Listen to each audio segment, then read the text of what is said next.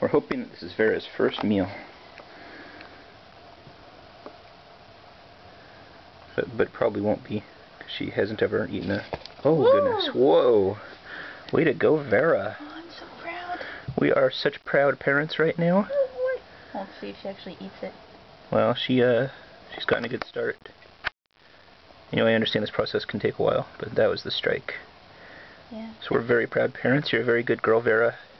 That was quick.